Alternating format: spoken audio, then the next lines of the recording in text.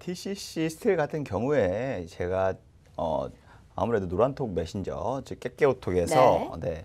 우리 참여하신 분들에게 단기 스윙 전략으로 좀 제시를 해드렸던 종목 중에 하나입니다. 아무래도 2차 전지 관련주로서 어, 최근 들어 시세가 굉장히 많이 두드러졌고요. 음.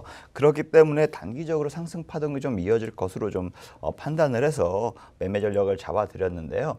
아무래도 추천하고 나서 제가 12월 3일인가 네 지난주 목요일 한 요 날에 좀 추천을 드렸던 것 같아요. 추천을 드리고 나서 한 5%까지 상승을 했었거든요. 네. 하지만 어, 지금 추세로 왔을 때 수급으로 봤을 때 더 크게 좀 갈 수 있겠다라고 음. 싶어서 좀 기다렸는데 한 3일 정도 조정을 받고 나서 예, 오늘 예, 무려 상승폭이 한 20% 가까이 급등을 보였습니다. 음. 그러면서 우리 깨깨톡에 지금 참여하고 계시는 모든 분들이 거의 한 수익 인증만 제가 네. 오늘 약간 세봤는데 한 30개가 넘게 올라왔더라고요. 그러니까요. 네, 그만큼 굉장히 부럽습니다. 많은 분들이 네.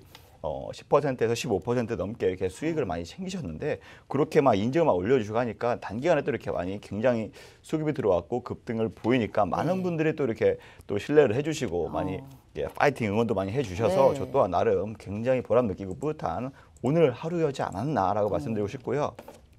또 지난주에 말씀을 드렸는데요. 나노 신소재 네. 마찬가지로 2차 전지 관련주로서 충분히 어, 상승 모멘텀 있고 어, 전망이 너무 밝기 때문에 음. 2차 전지 관련주들은 그렇기 때문에 매매 전략을 세웠는데요. 이건 한 2주 된 것 같아요. 한 요때쯤 추천을 드렸었고 추천 이후에 한 7% 가까이 어, 상승을 보였거든요. 하지만 네. 팔지 않고 거의 한 일주일 넘게 2주 가까이 좀 횡보하는 구간 보였다가 음. 예, 그리고 나서 지난 어, 11월 말이었죠.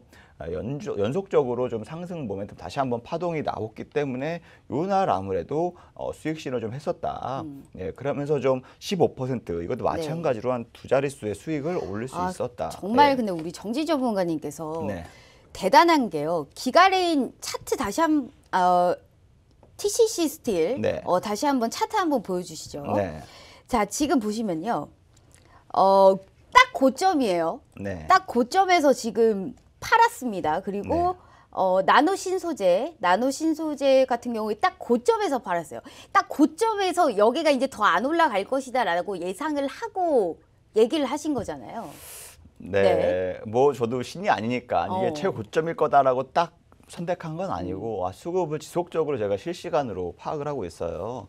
뭐 그렇기 때문에 저도 100% 모든 걸 맞출 수는 음. 없지만 아무래도 수급적인 동향을 봤을 때 아 그래도 여기 정도면 굉장히 어, 안전하게 수익을 모든 분들이 어, 최저점에 사고 최고점에 파는 이러한 욕심보다는 많은 분들이 따라할 수 있게끔 좀 이렇게 어, 안내해 주면 좋지 않을까라는 생각에 이 부분이면 좋을 것이다 했는데 오히려 좀 그 부분에서 어, 많은 분들이 또 이렇게 네.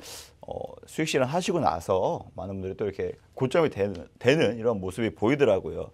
그렇기 때문에 예, 제가 좀 어, 민망하지만 어쨌든 네. 감사하게 예, 생각하고 있습니다.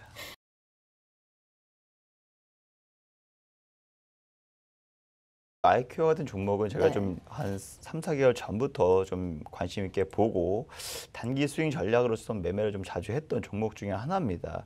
그렇기 때문에 어, 많은 분들도 역시 어, 요거의 수익도 좀 챙길 수 있게 음. 정확하게 좀 오래 봐왔던 종목이기 때문에 수급적인 측면이나 어, 저점과 고점을 박스권 형성하는 부분을 좀 많이 인지하고 있었거든요. 그렇기 때문에 어, 좀 좋은 자리에서 추천을 해드릴 수가 있었고요.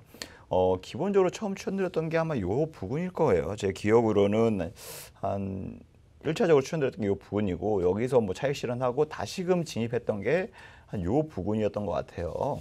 네, 그리고 나서 오히려 이렇게 좀 급등할 때 한 번 또 두 번 이렇게 급등한 적이 있었거든요. 그러면서 많은 여러 번 수익을 좀 챙겼던 종목이 아닌가라고 좀 어, 말씀드리고 싶고요. 이게 아무래도 지금 어제같이 어제 오늘 좀 급락이 나왔는데 뭐 어제 IR이 있었는데 거기서 아무래도 좀 투자 심리에 좀 어, 투자자들이 아무래도 투자 심리에 좀 어, 뭔가 마음에 안 드는 게 있지 않았나라는 네. 생각이 들어서 제가 느끼기에는 좀 당분간은 차익 매물을 좀 소화해야 될 음. 것이다라고 좀 보고 있고요.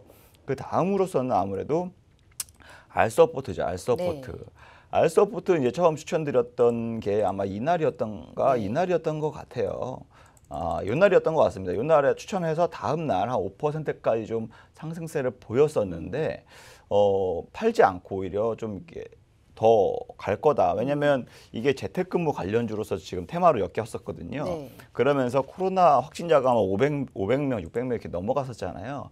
그러면서 코로나 확진자가 좀 증가하면서 재택근무도 좀 나올 거고 그와 관련된 관련주로서 시장에서 좀 약간 이슈가 되겠다 해서 어, 좀 기다렸거든요. 근데 뭐 한 일주일 넘게 계속적으로 좀 조용을 보였어요. 그래서 많은 분들이 아 이거 어떻게 해야 되냐 이거 어 걱정을 많이 하시더라고요. 제가 그래서 딱 정말로 어 요날 요날 요 당일날 오전에 어, 추가 매수라는 대응 전략을 세워드렸어요. 요날 추가 매수하시면 굉장히 좋은 네. 어, 좀 저점 대비해서 좀 평균 단가를 좀 낮춰서 대응할 수 있겠다라고 해서 그 깨깨오톡에 계신 분들 여기다가 좀 어, 대응 전략을 제시해 드렸는데 그날 15% 넘게 급등을 했거든요.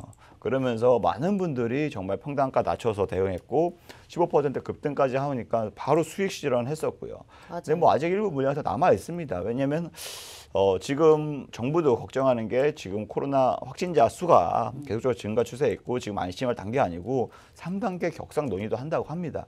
그만큼 지금 확산세가 거세고 있는 상황이기 때문에 그와 관련된 관련주들 아직 재료가 끝나지 않았다고 좀 보고 있거든요. 그래서 조금 더 어, 추이를 지켜보면서 대응 전략을 좀 세울 계획에 있습니다.